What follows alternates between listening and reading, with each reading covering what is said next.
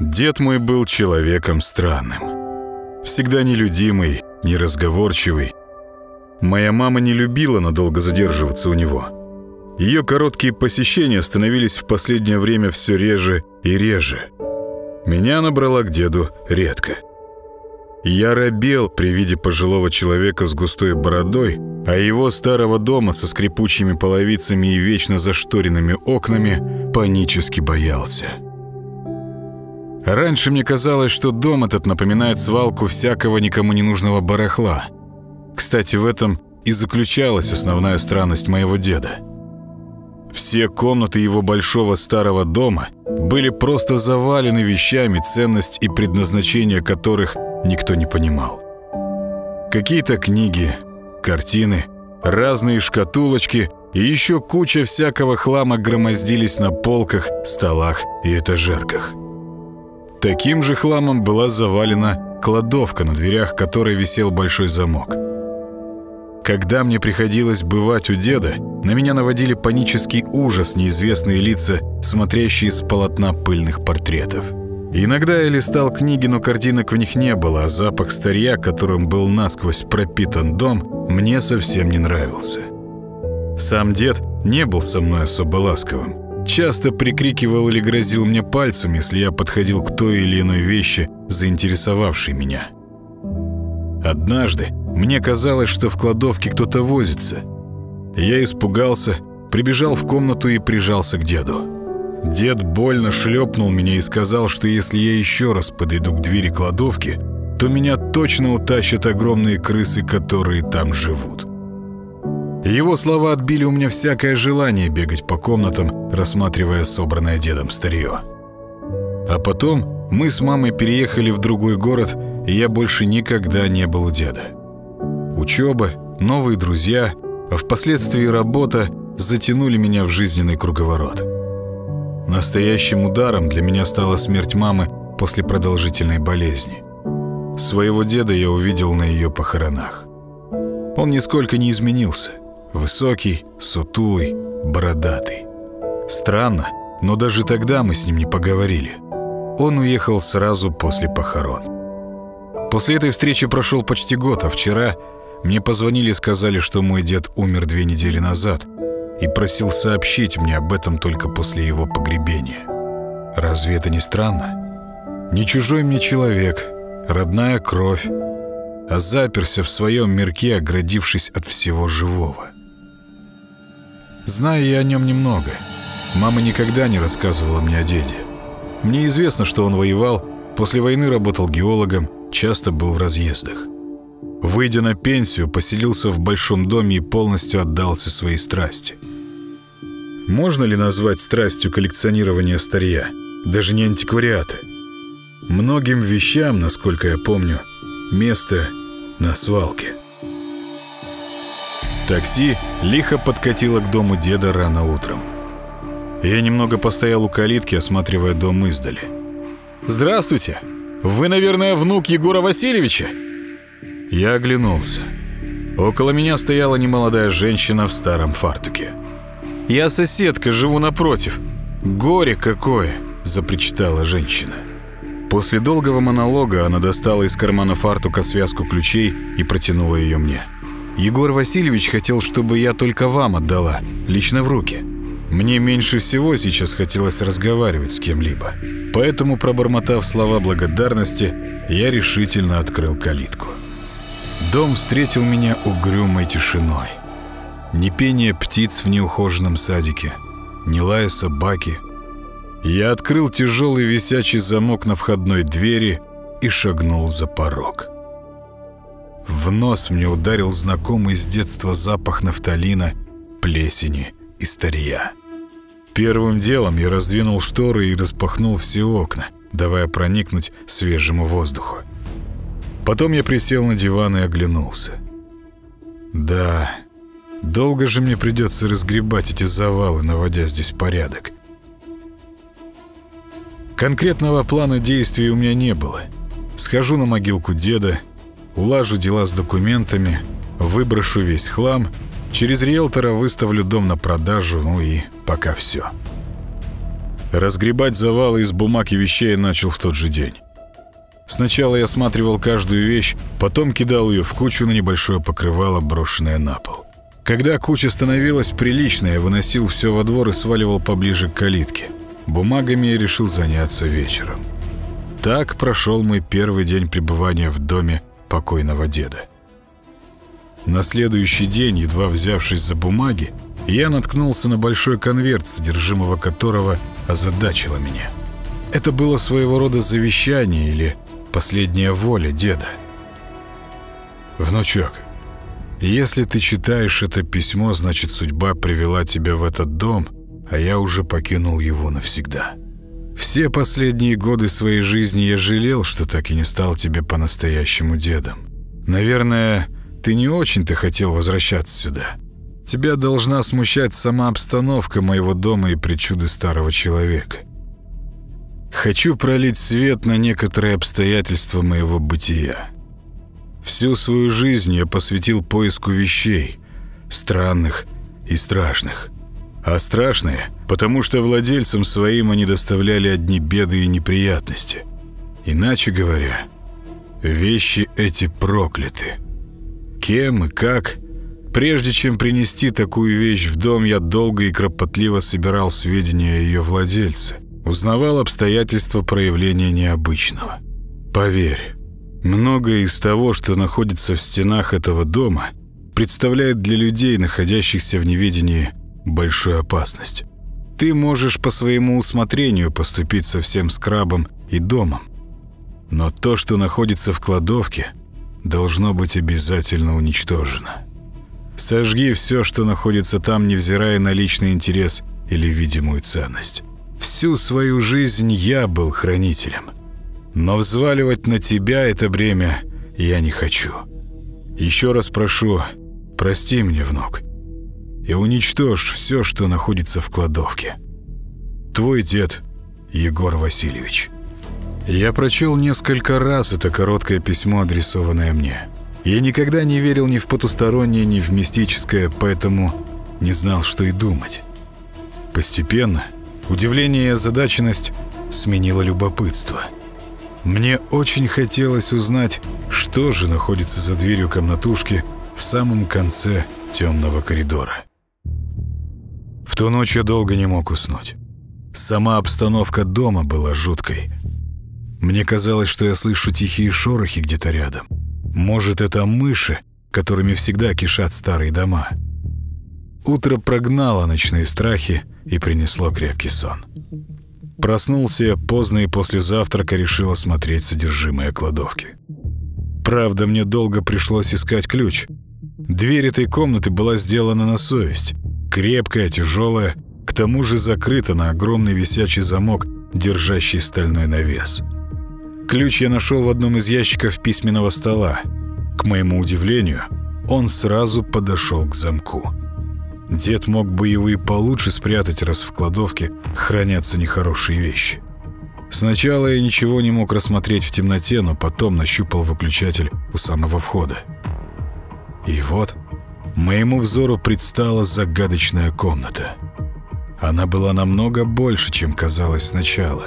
По обеим сторонам комнаты тянулись полки, уставленные ящиками, коробками и свертками.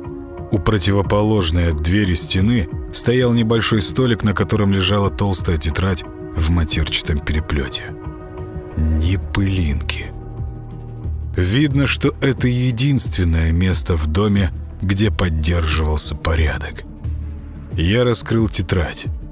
Очень скоро я понял, что дед аккуратно номеровал каждую вещь и делал записи с описанием.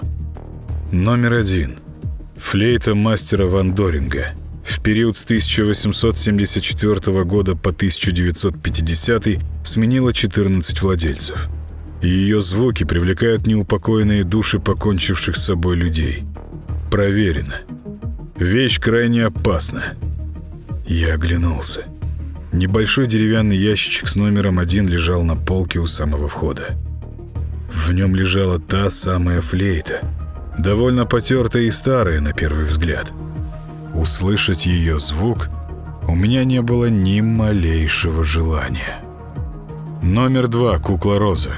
Сделанная мастером Рудольфом Тео в 1847 году. Волосы куклы – это волосы дочери мастера, умершей в трехлетнем возрасте. Все маленькие обладательницы куклы рассказывали в свое время о девочке, которая просила поиграть с ней. Эту девочку видели только дети. Родители данный факт отрицали. Многие из детей, игравших с этой куклой, умерли или лишились рассудка. Сведения проверенные. Кукла представляет опасность, особенно для детей. Эту куклу я нашел в коробке под номером 2. Прелестная игрушка. Яркая фарфоровая личка с голубыми глазами и розовыми щечками напоминала маленького ангелочка с белокурыми волосами. Она не внушала страха. Я слышал, что мастера того времени часто использовали настоящие волосы, но ничего зловещего в кукле не увидел. Положив ее обратно, я занялся дальнейшим изучением записей. Номер три. Плеть Дарьи Николаевны Салтыковой, Салтычихи. Ею она собственноручно забила до смерти не один десяток крепостных. Плеть была завернута в старую мешковину. Я осторожно развернул ее и с интересом посмотрел на эту старую высохшую вещь.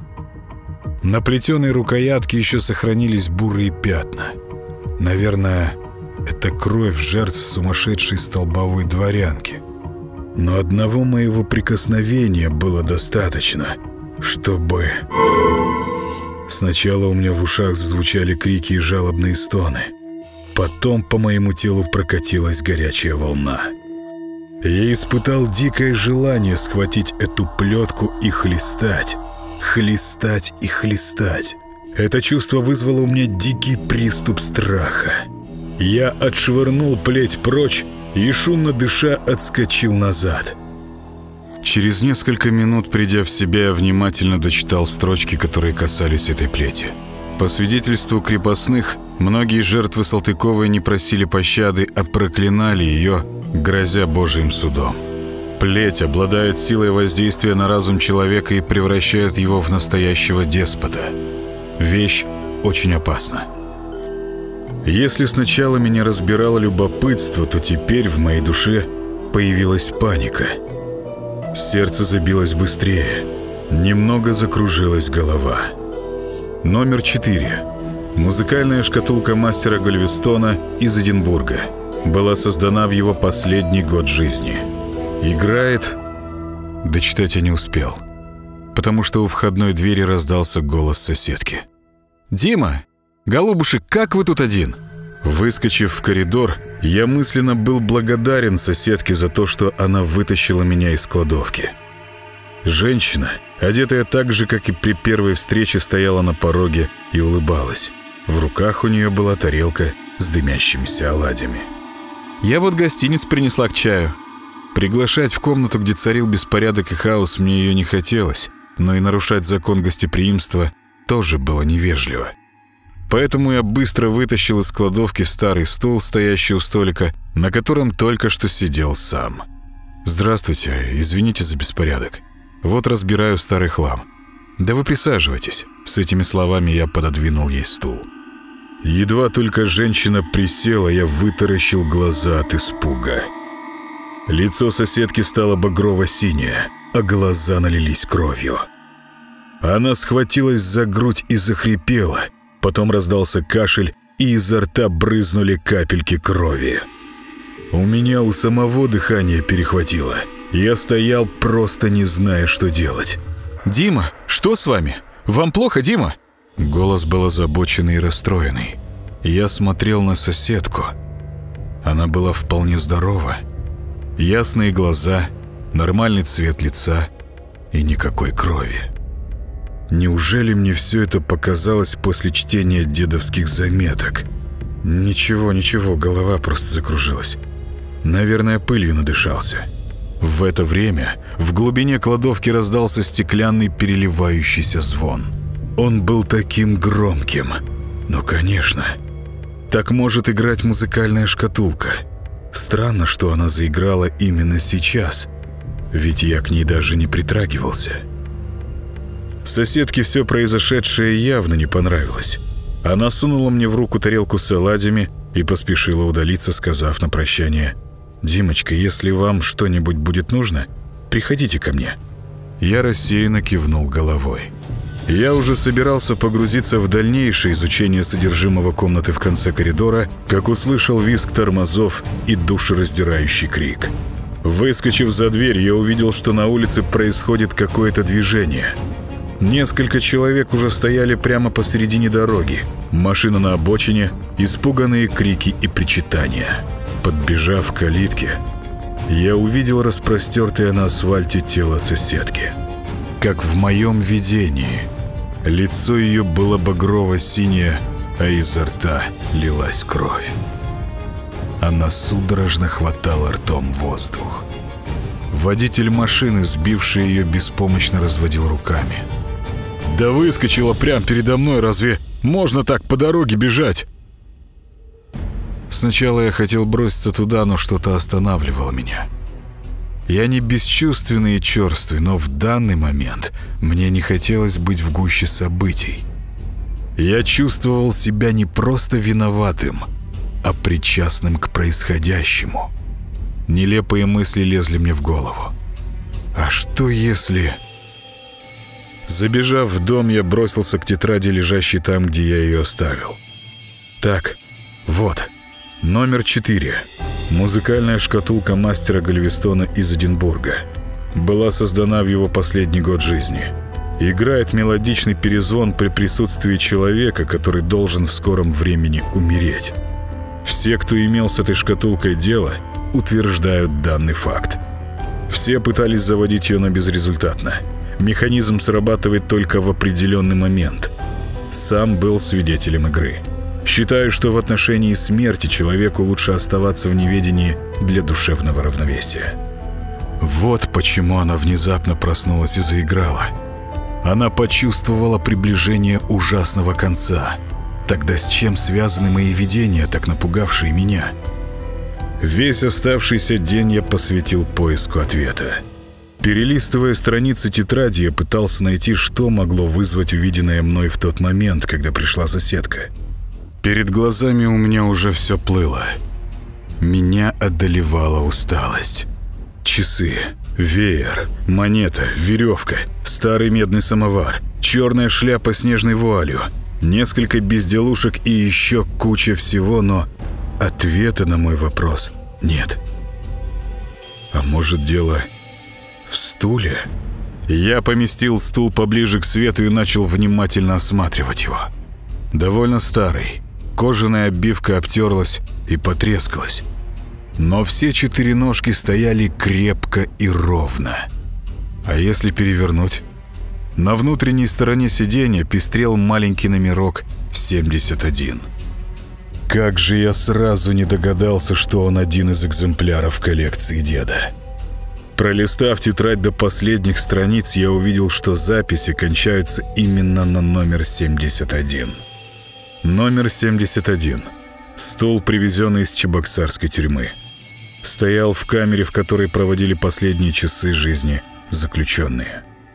Есть несколько утверждений охранников, что можно увидеть смерть человека, севшего на этот стул. Стул долгое время был изолирован, поэтому проверить данный факт не имело возможности. Картины смерти видели только охранники, причем садились на этот стул обреченные на смерть.